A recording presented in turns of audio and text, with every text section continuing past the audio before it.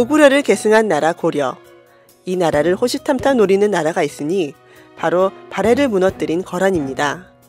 고려를 굴복시키려는 거란은 무려 세 번에 걸친 큰 전쟁을 일으키는데요. 하지만 고려는 그리 만만한 상대는 아니었습니다. 오늘 라이크 역사는 거란에 당당히 맞선 고려에 대해 이야기해 보도록 하겠습니다.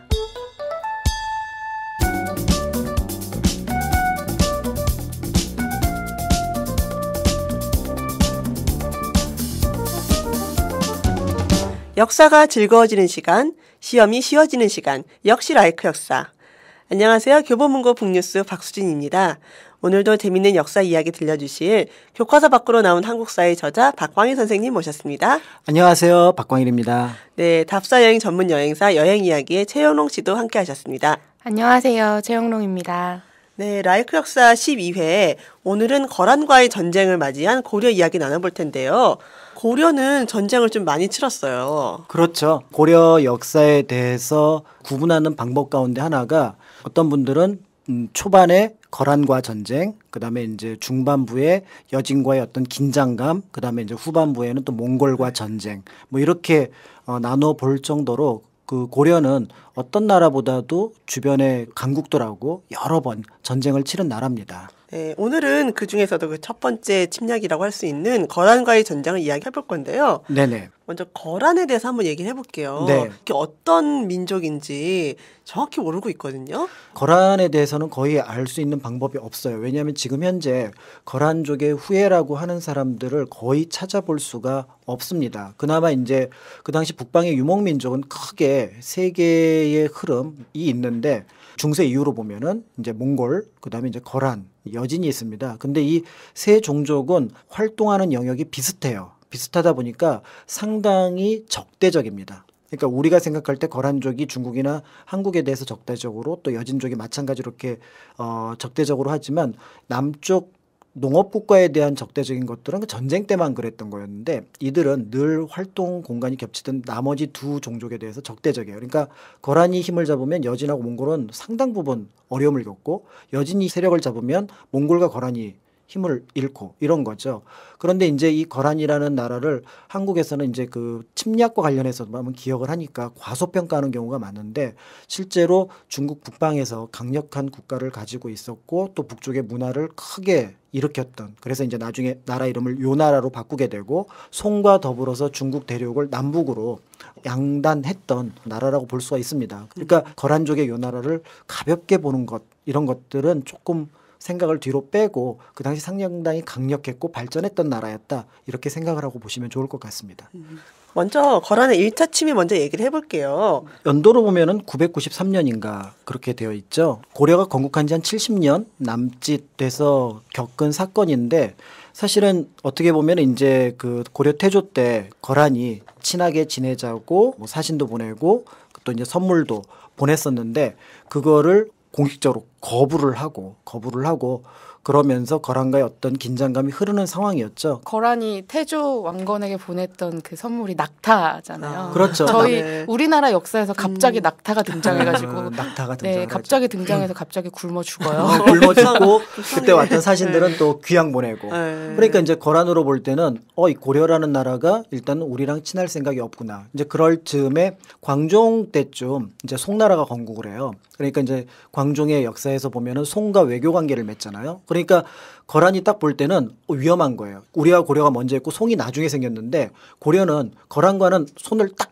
끊어놓고 송과는 외교 관계를 맺으려고 하는 거죠 그러니까 아 송하고 고려가 손을 잡으면 우리 거란이 상당히 위험해질 수 있겠다라는 생각을 960년, 970년 그 즈음에 하게 됐던 겁니다. 그래서 이제 그것 그때는 이제 위험하다고 생각을 했지만 그걸 이제 실천에 옮긴 거는 1, 20년 뒤에 이제 결국은 1차 침입을 하게 됐겠다. 이렇게 보시면은 그 당시 국제 정세의 흐름을 대략적으로 이해하실 수 있을 겁니다. 그- 그래서 그런지 그 서희 외교단판 기록을 보면 소손영이 주장을 하는 것들이 약간 떼쓰는 것 같아요. 우리랑 우리랑은 안 놀고 어, 쟤네랑만 놀면서 막 그러니까 이제 보통 초등학생이나 중학생, 고등학생들한테 물어봐요.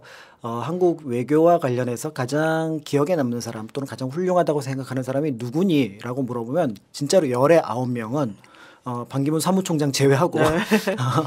그 서희를 꼽습니다. 음. 서희라고 하는 인물은 사실은 뭐 어떻게 보면 장군도 아니고 또 어떻게 보면은 어떤 전쟁에 나가서 큰 공을 세운 인물도 아니지만 1차 침략을 무난하게 막아냈고 그것도 외교적으로 막아냈다는 면에서 많은 사람들이 큰 관심을 갖고 본 그런 인물이라고 볼 수가 있죠. 그래서 이제 제가 다시 물어봐요. 그럼 서희가 훌륭한 건 알겠는데 어, 서희는 왜 훌륭하다고 생각하니? 이렇게 물어보면 역사 공부를 조금 덜한 친구들 있잖아요. 그 친구들은 뭐라고 얘기를 하냐면 말을 잘해서요. 어, 이렇게 얘기를 합니다. 어, 그렇게 되면 이제 외교관의 자질이 이제 말을 잘하는 거다 이렇게 오해할 여지가 있는데 어, 서희가 협상 과정에서 유리한 위치에 있을 수 있었던 것은 몇 가지가 있습니다. 그 중에 하나가 일단 신념이었고 두 번째는 엄청난 정보력. 그거를 바탕으로 이제 세 번째 실행에 옮기는 아까 말을 잘하는 능력 이런 것들이 복합적으로 작용을 했기 때문에 1차 그 거란 침략을 무난하게 마무리를 지을 수 있었다 이렇게 보시면 될 것 같아요. 그 서희가 소선영과 단판을 짓는데요. 네네. 혼자 갔나요? 어, 사실은 이제 뭐 혼자 간 건 아니고 이제 네. 몇 명의 사신단을 데리고 갔어요. 그런데 이제 소손녕이 볼 때는 일단은 서희의 기선을 제압하기 위해서 대국의 장군이니까 소국의 어, 신하는 나한테 무릎을 꿇어라, 절을 해라 이렇게 했던 거예요. 그랬더니 서희는 보이콧을 해버립니다. 음, 그럼 나 회담 안 해. 그리고 그냥 객사로 들어가 버려요. 쿨, 쿨, 막. 어. 네, 그러니까 이, 소손녕이 당황했겠죠. 그러니까 이제. 소손녕이 당황한 거죠. 왜냐하면 이 전쟁의 목표는 사실은 너희들이 앞으로 이제 송과 친하게 지내지 않겠다 뭐 이런 정도였을 것 같은데 뒤에 상황들을 보면은 네. 근데 서희가 이렇게 강하게 나오니까 깜짝 놀란 거죠. 원래 이제 남북으로 쓰게 되면은 그 북쪽에 있는 사람이 높은 사람이고 남쪽에 있는 사람이 낮은 사람이 돼요. 네. 그러니까 이제 나중에 그 협상장 장소를 어떻게 하냐면 동서로 어. 나눕니다. 그러니까 수평 관계다. 네. 그러니까 결국 일단 서희의 보이콧 했던 그 끼부림이 먹혀 들어간 거죠. 그런데 이제 이 서희가 강하게 나갈 수 있었던 이유는 뭐냐면 송과 고려의 외교 관계를 성립시킨 인물이 바로 서희예요. 음, 그리고 중국을 많이 왔다 갔다 그렇죠. 했었군요. 네, 그러니까 처음에 이제 송나라 같은 경우는 고려랑 외교 관계를 맺는 거에 대해서 약간 부정적이었어요. 왜냐하면은 고려라는 나라가 건국하고 나서 한족의 나라를 그다지 뭐 도와준다라는 것들이 보이지 않았거든요. 그러니까 송이 통일하기 전에 통일하기 전에 그렇게 고려가 고- 송을 도와주진 않았으니까 통일하고 난 다음이라고 하더라도 굳이 얘네들이 우리를 도와줄까 이런 생각을 했던 거죠. 그런데 이제 서희가 가서 몇 번을 어, 설득을 시켜서 결국은 송과 고려가 정식 외교 관계를 962년, 65년 이 즈음에 맺게 됩니다. 광종 때. 그러니까 서희에게는 머릿속에 송과 거란과의 관계가 어떤지 대충 들어가 있었던 거죠. 그러니까 얘네들이 고려에다가 전군을 보냈다. 그 얘기는 뭐예요? 그러면은 송과 접경적에 있던 주 접점에 공백이 생긴다는 얘기예요. 그렇죠. 그럼 여기 군대 오래 둘 수 없다는 얘기잖아요. 그럼 계산이 뻔하게 나오니까 얘네들은 빨리 으쌰으쌰하고 뒤로 돌아갈 거다. 그렇다고 하면은 여기서는 얘네들은 뭔가 협박만 하고 내려가는 게 분명하니까 그 협박의 요소만 찾아내면 거꾸로 칠 수 있겠다. 서희 머릿속에는 이런 게 다 들어가 있었던 거죠. 소선영이 때를 쓰기엔 서희가 너무 베테랑이었던 거죠. 잘못 본 거죠. 그러니까 이 상대를 네. 잘못 만났던 거고 그런 의미에서 이제 서희가 협상을 일단 주도를 하게 됩니다. 그래서 아까 첫 번째 얘기했던 게 뭐냐면 네. 이제 소선영이 딱 서희를 만나자마자 우리는 고구려를 계승한 나라인데 니네가 지금 이 영토를 계속 넓혀서 우리 땅을 침범했으니까 그거는 문제가 있는 거다. 그러니까 평양 이북의 땅은 다 내놔라. 이게 이제 첫 번째 안건이었습니다. 무슨 근거로 자기네가 고구려를 개선했다고 하는 건가요? 아마 그 영토에 대한 점유가 가장 크다고 보겠죠. 그러니까 이제 그 발해를 이제 고구려를 계승했다고 했던 발해를 멸망시키고 그 땅을 대부분 차지했잖아요. 어떻게 보면은 일단 그 영토를 계승했고 두 번째는 동아시아의 강국 고구려를 자기가 뒤집어 쓰면은 상당히 좋겠다고 생각을 하는 거죠. 중세 유럽에서 보면 로마라는 이름이 가지고 있는 강력한 어떤 권위가 있잖아요. 그래서 신성 로마 제국 네. 같은 게 등장하는 것처럼 그러니까 그 당시에는 고구려를 올렸으면은 일단은 상대방에게 어떻게 좀 기선을 제압할 수 있는 그런 힘이 생긴다 이렇게 봤던 것 같아요. 그렇지만 이제 서희가 볼 때는 어이가 없었겠죠. 자, 보자. 니네 나라 뭐니? 어, 요, 요. 근데 우리는 지금 고려야. 그럼 그때 그 나라가 무슨 나라라고? 고려, 고구려. 그럼 나라에는 같이. 그 다음에 이제 서희가 약간의 거짓말은 쳐요. 우리나라의 도읍지가 어딘지 아니? 평양이야. 사실은 이제 평양은 제2의 도읍지였잖아요. 네. 그런데 어, 제2의 도읍지지만 어쨌든 제2의 도읍지에서 제2를 가로치면 도읍지는 맞잖아요. 네. 그러니까 도읍지야. 네. 그러면 누가 고구려를 계승했다는 얘기니? 아, 그럼 그건 의지에서 빼자. 일단 그래서 1차 의지에서 빠져서 어, 그 요 나라 영토를 넘어온 부분에 대해서는 그거는 문제 제기를 하지 않기로 예. 하게 됩니다. 그러니까 이게 이제 두 번째 이제 사실은 본질의 이제 문제는 항상 협상 과정에 보면은 첫 번째 문제는 약간은 공중에 떠 있는 네. 거고 두 번째가 본질이잖아요. 이제 두 번째 문제 제기를 하는 거죠. 이게 두 번째 협상은 바로 뭐냐면 니네는 왜 가까이 있는 우리나라랑 친하게 지내지 않고 멀리 있는 송나라랑 지내니? 이제 본색을 드러낸 거죠. 네. 그러니까 이제 서희가 이제 거기에 대해서 이제 무난하게 음. 이끌어지는 계기가 됐습니다. 정말 중요한 본질이라고 했던 두 네. 번째 안건은 음. 어떤 식으로 처리를 하게 된 건가요? 자, 두 번째 안건을 생각하기 전에 사실은 거란적으로 볼 때 약간 꺼림직한 것이 있었어요. 서희랑 단판을 짓기 전에 고려군한테 습격을 받아서 패배한 사건이 있습니다. 아. 안용진에서. 음. 그러니까 이거는 뭐냐면 평지 전투에 능했던 거란군이 산악지대로 넘어오게 되면서 고려군의 요격을 받으니까 이게 전술적으로 상당히 위협을 받겠다. 이게 고려라는 나라를 공격하기 쉽지 않겠다라고 했던 거죠. 그럼 얘네들은 전쟁에 대해서도 크게 자신감을 갖고 있지 못할 거다. 그러니까 이제 두 번째 본질적인 안건에서 이제 문제 제기를 했을 때 바로 칠 수가 있는 거죠. 그러니까 왜 우리하고 가깝게 지내지 않느냐라고 얘기를 할 때 우리는 네 쪽하고 가고 싶은데 중간에 여진족이 있다.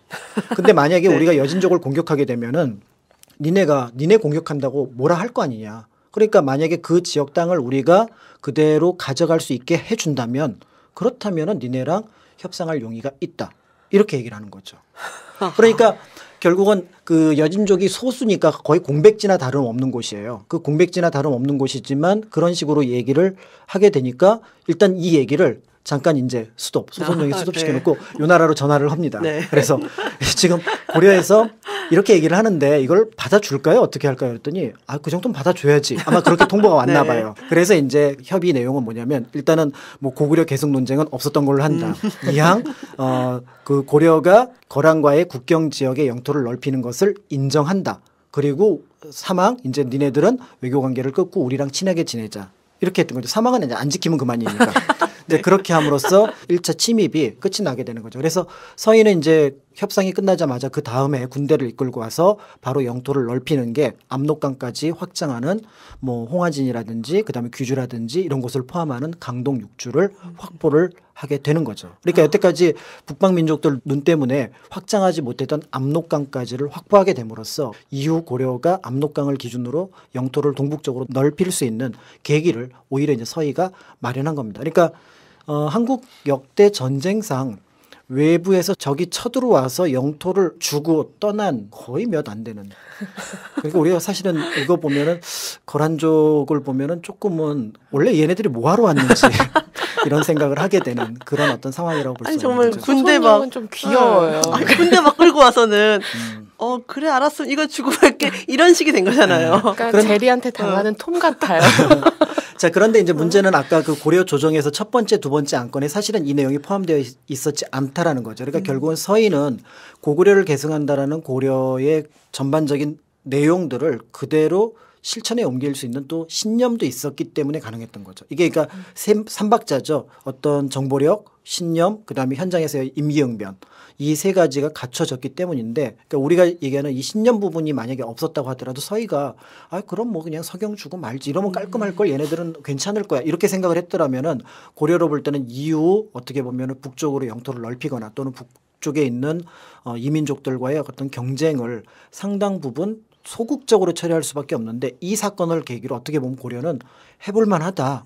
그러니까 첫 번째 가장 큰 대규모의 전쟁이 성공적인 작전으로 끝이 났기 때문에 이후 500년 고려 역사에 엄청난 영향을 끼쳤다. 이렇게 볼 수도 있지 않을까라는 생각이 듭니다. 그런데요. 호손령이 처음에 나는 대군을 이끌고 왔다. 막 항복해라. 이렇게. 80만 대군이라고. 네, 막, 막 이렇게 할 때 고려 조정은 왜 그렇게 당황을 했던 걸까요? 뭔가 이런- 대비를 하고 있었던 이런? 대규모의 전쟁에 대해서 사실은 이제 광종 이후에 계속 이제 내부에서 귀족들이 혼란을 겪고 있던 상황이었기 때문에 그 부분에 대해서 그만한 대비 능력을 갖고 있지 못했던 거죠. 그러니까 그런데 실제로 그 거점이라고 할 수 있는 국경 지역의 군대들은 훈련이 대단히 잘 돼 있었다라는 거예요. 그러니까 그건 1차 전쟁에도 마찬가지 2차, 3차에서 끊임없이 활동했던 양규 같은 인물 같은 경우는 거의 뭐 혼자서 그 몇십만 대군 사이에서 전투를 해서 뭐 적을 뭐한 1만 가까이 살상을 할 정도니까 그런 정도의 어떤 강군이 또 국경 지역에 있었기 때문에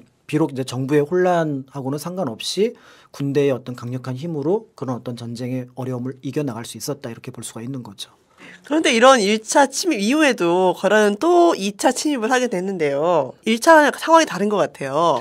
어, 사실은 어느 정도는 고려로 볼 때는 예측을 했다고 볼 수가 있고요. 또 한편으로 이제 거란이 이제 쳐들어온 이유는 뭐냐면 아까 얘기했던 그 강동 육주를 확보하게 되면은 그러면은 송과 단교를 하고 거란과 이제 국교를 수립하고 또 고려의 왕이 거란 황제한테 가서 뭐 이렇게 예를 갖추는 그런 거를 요구를 했었고 또 그렇게 한다고 했잖아요. 근데 고려에서 안 하거든요. 안 했어요. 예. 안 하니까 이제 거란으로 볼 때는 막 속이 타는 거죠. 음. 속이 타는데 실제로 이때 이제 속이 탔던 이유는 뭐냐면 송과 끊임없이 전쟁을 벌이고 있었는데 이 송과 전쟁이 보통 금나라나 이후에 원나라 몽골 같은 경우는 압도적으로 중국의 한족 국가를 눌러버려요. 그런데 이때는 거의 엇비슷하게 갑니다. 그래서 중국 역사상 상당히 드물게 어쨌든 송과 거란 사이에는 형제 관계가 맺어져요. 그러니까 형은 거란, 동생은 송. 아. 그만큼 힘이 아, 비등비등했다라는 예. 거예요. 보통 이제 군신을 맺거나 아예 그 나라를 멸망시키거나 이렇게 하거든요.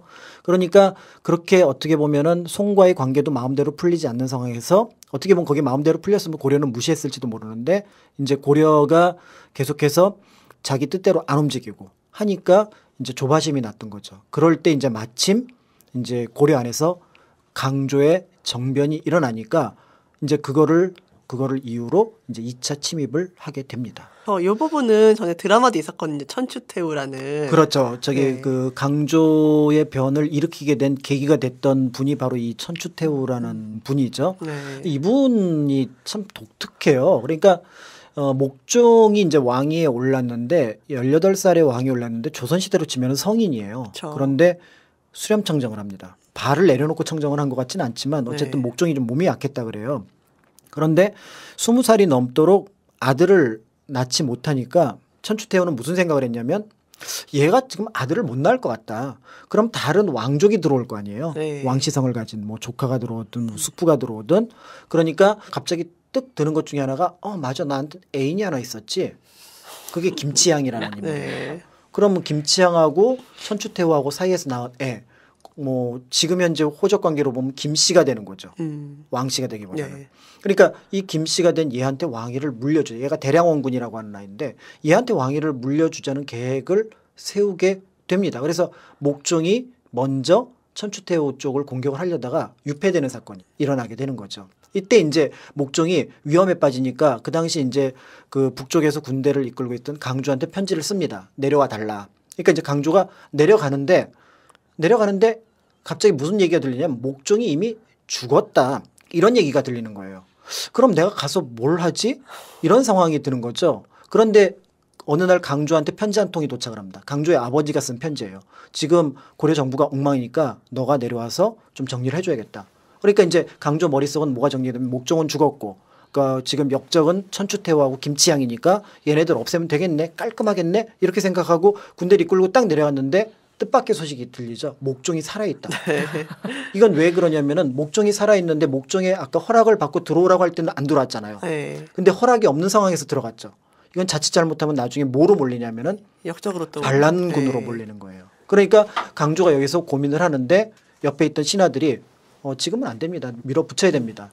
해갖고 결국은 이제 그 천추태후 김치향을 귀양 보내고 근데 목종이 이제 문제가 되는 거예요. 음. 그래서 목종도 결국은 귀양을 보냅니다.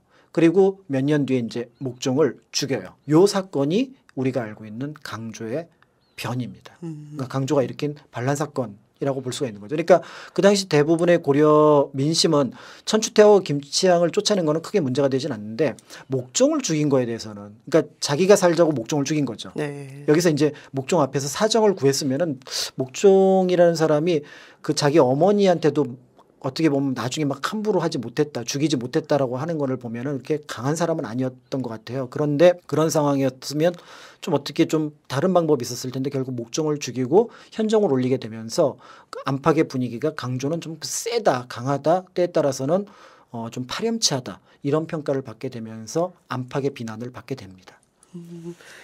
이걸 핑계로 거란이 침입을 하게 되는 거군요. 그렇죠. 그러니까 이제 이게 우리가 볼 때는 말이 안 된다라고 생각을 할 수 있는데 요 나라 입장에서 보면은 충분히 말이 되는 거예요. 왜냐하면은 어쨌든 1차 침입 이후로는 요 나라 기준으로 보면은 고려 왕은 요 나라 황제의 신하가 되는 거예요. 네. 그렇죠. 네. 그런데 그 신하를 그 밑에 있는 신하가 죽인 거예요. 목종을. 음. 그러면 내 신하를 죽인 거예요. 그 나라에서. 네. 그럼 말이 안 된다. 목종은 내 신한데 뭐 그건 지네끼리 생각을 하는 거죠. 이제 명분이 그렇다는 네. 거예요. 그래서 이제 2차로 이 기회에 아예 그러면은 고려를 그 빌미로 해서 내가 그냥 가서 세울까 왕도 세우고 고려에 대한 이때까지 지배권을 직접 행사하지 못한 걸 행사하겠다라고 내려온 게 바로 2차 침입입니다. 근데 사실 이 2차 침입은 공부를 하면서도 놀란 건데 개경을 일단 거란군이 함락을 시킨 거죠. 그렇죠. 이때는 일단 1차 전쟁이 있었잖아요. 1차 협상 때 서희한테 어떻게 보면 당한 거죠. 네. 그러니까 이제 2차 때는 밀리지 않겠다라는 그 의지를 가지고 내려온 거예요. 이제는 명백하게 항복을 받아내겠다라는 거죠. 그래서 실제로 이때 그 고려의 현종 같은 경우는 나주까지 피란을 가요. 그리고 또 나주까지 피란 가는 과정에서 많은 사람들이 또 야유를 왕에게 했다고 합니다. 네가 나라를 잘못 지켜서 여기까지 피란을 오는 거다. 이렇게 얘기를 했다고 하죠. 그러니까 고려로 볼 때는 1차, 2차, 3차 전쟁 가운데 어떻게 보면 가장 위험했던 일이 이때였습니다. 그렇지만 결국은 또 국경 지역에서는 고려군이 계속해서 작지만 계속 승리를 거두고 있었어요. 거란으로 볼 때는 하이 고려가 참 힘든 거예요. 네. 그러니까 이제 결국 계속 전쟁을 하려고 했는데 지금 고려 왕을 쫓아가려면 어디까지 가야 되냐면은 나주까지 가야 돼요. 한참 가야 되네요. 네, 나주까지 네. 가야 되는데 문제는 우리나라가 참 외국에서 특히 중국에서 쳐들어오기가 귀찮았던 것 중에 하나가 산이 너무 많아요.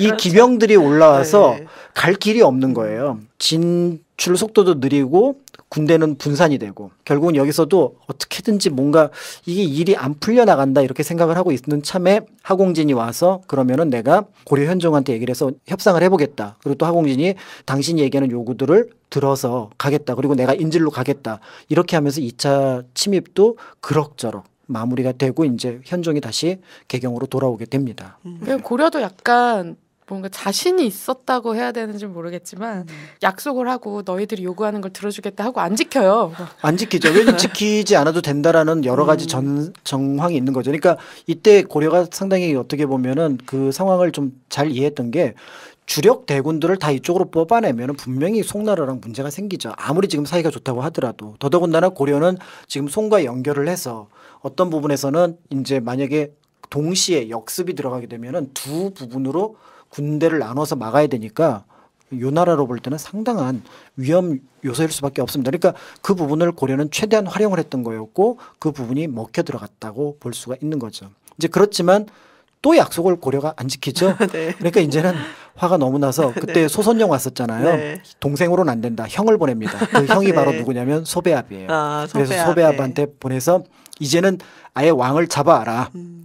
고려의 왕을 잡아라 하고 10만 대군을 내려 보내죠. 이게 거란의 3차 침입입니다. 네.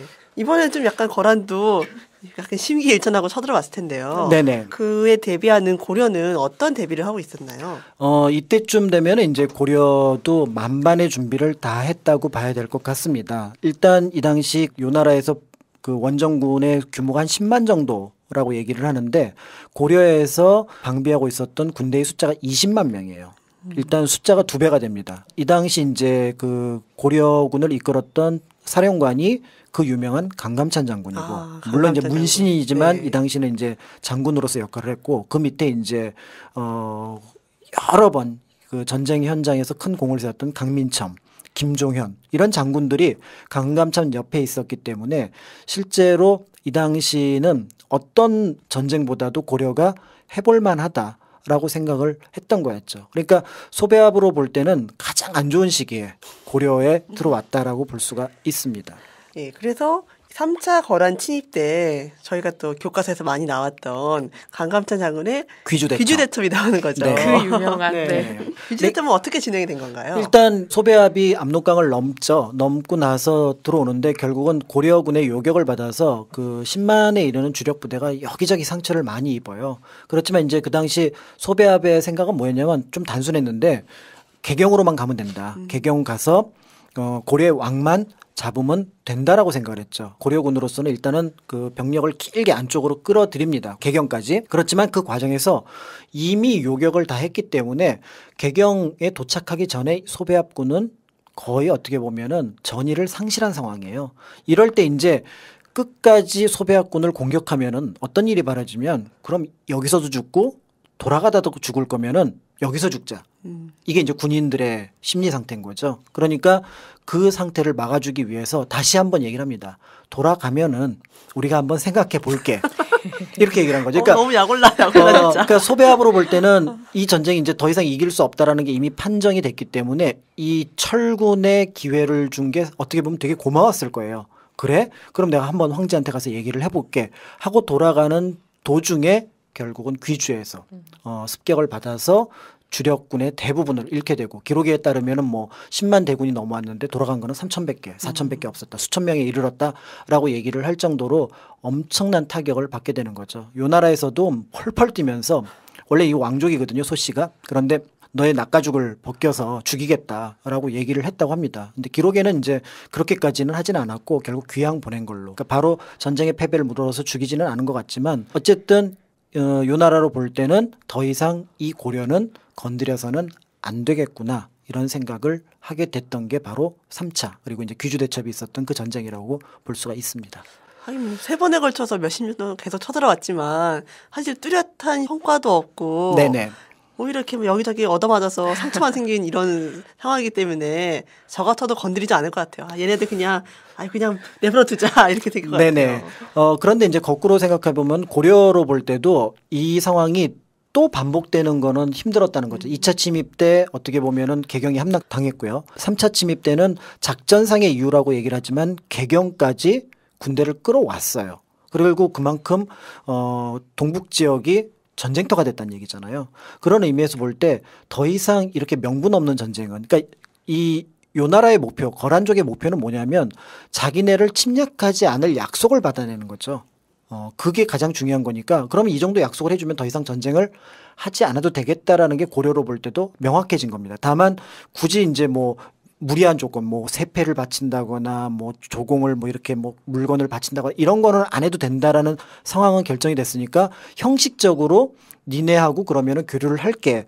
라는 선언만 해주면은 이 전쟁은 막을 수 있다고 판단되면서 결국 고려는 그러면 송과 외교 관계를 끊고 니네하고 외교 관계를 맺을게. 즉 이제는 송을 큰 나라로 섬기는 게 아니라 요 나라를 큰 나라로 섬길게 쪽으로 선회를 합니다. 사실은 여기에 제가 보기에는 어, 한 가지 요소가 됐던 게 뭐냐면 3차 침입 때 송의 원군을 요청을 해요. 네. 그런데 송나라에서. 움직일 힘이 없어요. 음. 어, 그러니까 결국은 송에서 원군이 들어오지 않으니까 그러면 송과는 민간 영역에서 교류하더라도 충분하니까 그렇다면 요 나라 쪽으로 돌아서는 걸로 하자라고 해서 결국은 전쟁을 끝내고 이후에 평화 상태를 유지하는 쪽으로 두 나라 어떻게 보면 세 나라가 네. 그럭저럭 합의를 했겠다 이렇게 볼 수가 있습니다. 그 긴 시간 전쟁을 하여 겨우 겨우 얻어낸 평화군요. 뭐랄까 서로 막 싸워서 원래 상태로 돌아왔네요. 원래 상태로. 어, 그렇지만 그 네. 원래 상태는 이제 이전하고는 다른 거죠. 음. 그 이전에 그 세 나라가 공존했을 때는 각각 세 나라가 서로 불안한 상황이었고 때에 따라서는 힘의 어떤 움직임에 따라서 어떤 나라가 상당한 위협을 받을 수 있지만 이제 그런 상황들을 다 겪었으니까 이후에서는 서로 넘어가지 않겠다라는 어떤 그런 것들이 있고요. 또 한편으로 고려로 볼 때는 전쟁을 통해서 정말 많은 걸 잃었잖아요. 어, 국토, 그 다음에 군인, 또 국경 지역의 문제점, 물론 강동 육주를 얻었다고는 하지만 그렇지만 북방 민족들에게 고려가 어떤 나라다 들어가면 어떻게 된다. 라는 거를 네. 명확하게 보여준 전쟁이죠. 고려 이거 만만치 않다. 옛날 고구려랑 똑같아. 오히려 더 지독할 수도 있어. 이런 생각을 하게 되면서 고려가 가진 이미지를 북방 중국에게 명확하게 얘네들은 강한 나라야. 이런 것들을 심어준 점은 분명한 성과라고 볼 수가 있습니다. 처음에 이 거란과 고려의 전쟁에 대해서 이렇게 책으로 봤을 때는 이 정도 했으면 진짜 치러 올라가겠다 싶은 생각이 들었었어요. 고려가 그러니까 힘없이 당한 적이 한 번도 없잖아요. 세 번, 세 차례 침입에 걸쳤을 때도. 근데 그런 정도로 힘이 있으면 그냥 올라가서 거란을 치든지 이게 뭐야 맨날 약간 그런 느낌이 좀 있었는데 어쨌든 고려가 그 평화를 선택을 한 거네요. 그러니까 이제 그 당시 보통 우리가 생각할 때 왜 고구려처럼 북쪽으로 영토를 넓히지 않을까라는 생각을 하는데 실제로 고구려 때 그 만주 연해주 쪽으로 또 이제 발해 때는 연해주까지 확장을 하잖아요. 그렇게 확장을 했을 때는 거기가 거의 공지라고 보시면 돼요. 그러니까 어떤 국가 조직을 갖고 있거나 이런 조직이 아니라 여러 부족들이 소수 몇백 몇천 명이 모여 있으니까 거기는 영토를 넓힌다는 것도 있고 또 그냥 복속당해도 거기 있는 주력 부족들은 그 옛날은 우리가 다른 데였는데 이제는 고구려야 뭐 이런 정도로 음. 생각을 했던 거예요. 네. 그런데 요 나라가 들어서고 그다음에 이제 나중에 그 후금이 들어서고 할 때는 이 조직은 상당히 강력한 그 네트워크를 갖게 됩니다. 그러니까 지금 같이 촘촘한 국가 조직이라고 보기는 어렵지만 이미 상당히 촘촘하기 때문에 그 지역을 영토로 만든다라는 개념은 결국은 그쪽에 내 사람이 들어가는 삼인 정책을 쓰거나 또 때에 따라서는 그 지역 정부를 완전히 무너뜨리고 그 정부 자체를 복속시키려는 힘 그러려면 사실은 그만한 이유가 있어야 되죠. 이제 그런 이유가 있는데 어 생각해 볼 때 유목 국가들은 분명히 그런 이유가 있어요. 부족하잖아요. 그러니까 얘네들은 늘 부족하니까 농업 국가를 침범을 해서 뭔가를 가져가려고 하는데 그렇지만 농업 국가가 유목 국가를 가서 가져올 수 있는 게 몇 개가 없는 그쵸. 거예요. 예. 그러니까 지금으로 치면은 영토 자체가 가지고 있는 여러 가지 이점이 있지만 그 당시에 고려로 볼 때는 그 이점보다는 기회 비용이 훨씬 더 컸다는 거죠. 그래서 사실은 군사력이 부족해서가 아니라 올라갈 이유를 느끼지 못했던 겁니다. 그러니까 늘 보면 북에서 남쪽으로 내려오지 남에서 북으로 올라가는 경우가 중세 이후로는 사라지는 거죠. 그러니까 중세 이전에는 거기가 거의 공지예요. 한번 갔다가 쭉 가서 몇백 년 동안 담치고 있어도 내가 누구 나라야? 어, 내가 중국이야? 고구려야? 막 이러면서 네. 헷갈리던 시기였지만 이 이후에는 조금 더 조직이 촘촘해지면서 거기에 대한 인식이 생기고 그런 상황이기 때문에 그 저항도 강해졌고 그런데 거기 올라갈 만한 이익은 별로 없고 이런 부분도 한 번쯤은 생각을 해보면은 왜 고려가 올라가지 않았을까라는 생각을 하는 거죠. 물론 힘이 넘치면 올라갔을 거예요. 근데 넘칠 정도는 또 아니었겠다 이렇게 보는 거죠. 고려가 여러 침략을 많이 받았다고 생각하지만 또 얘기 듣다 보니까 굳이 침략을 받은 게 약하기 때문이 아니라 오히려 강하기 더 때문에. 강하기 네. 때문에 신경 쓰이니까. 네네. 하지만 또 고려도 결코 지지 않은 싸움을 했다는 건 그만큼 그 고려의 힘도 강했다는 걸 의미하는 것 같네요. 어, 전쟁을 누가 일으켰느냐라는 것도 중요하지만 결국은 그 전쟁이 일어났을 때 어떻게 대처를 했느냐라는 것이 결국 이제 고려가 얼마만큼의 실력을 가지고 있느냐를 명확하게 보여준 거죠. 일단 무조건 항복한다 이런 것들이 아니라 한번 해보고 나서 안 되면은 뭐 그다음에 협상을 해보자 라는 그러니까 초기에 1차 침입 때 우왕좌왕했던 고려 조정의 모습하고는 조금 다르게 고민을 많이 하는 그런 모습들이 뒤에 나타나는 걸 보면은 결과도 있겠다 이렇게 볼 수가 있습니다. 고려가 이렇게 재밌는 것 같아요. 그래서 고려가 재밌어요. 그래서 네. 어, 사실은 그때 전쟁을 치르느라고 정말 많은 고생을 했을 것 같아요. 그래서 뭐 남부 지역에 보면은 막 그 침입에 대해서 막 원한이 쌓여가지고 막 탑 지을 때도 다시는 외적이 쳐들어오지 못하게 해주십시오. 이런 어떤 어려움이 있었던 거는 분명하지만 전체 역사 맥락에서 바라볼 때 고려는 어쨌든 우리가 상식선에서 적이 쳐들어오면 막고 적이 협상을 하면 협상을 하고 또 우리에게 유리하면 우리가 유리한 쪽으로 이끌어내는 그 사전에 어떤 무언가에 둘러싸여서 미리 포기하거나 이렇게 허황된 것을 갖지 않도록 하는 그런 정도의 어떤 외교 또는 어떤 국경 어, 외국과의 어떤 관계 이런 것들을 설정했다는 면에서 이해하기가 조금 편한 나라이기도 합니다. 네,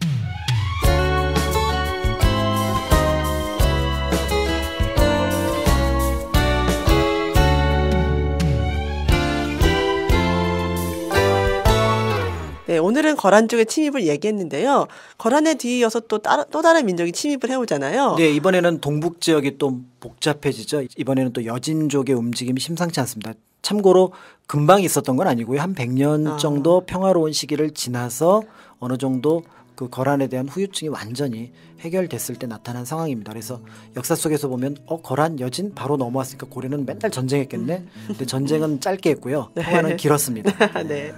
예, 다음 시간에는 동북 구성과 여진 쪽의 침입에 대해서 같이 얘기해 볼 거고요. 다음 시간도 오늘처럼 되게 박진감 넘치는 전투 이야기가 진행될 것 같네요. 네, 지금까지 라이크 역사 12회 거란과의 전쟁이었고요. 라이크 역사 13회 다음 시간에 돌아오도록 하겠습니다. 감사합니다. 감사합니다. 감사합니다.